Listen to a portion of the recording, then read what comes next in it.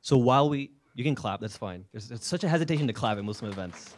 I don't know why. It is completely permissible to clap. There's no doubt about it. Actually, only the women were clapping, so that's interesting. It's permissible to clap because because a- again I'll go into a tangent, one of my tangents. What's that?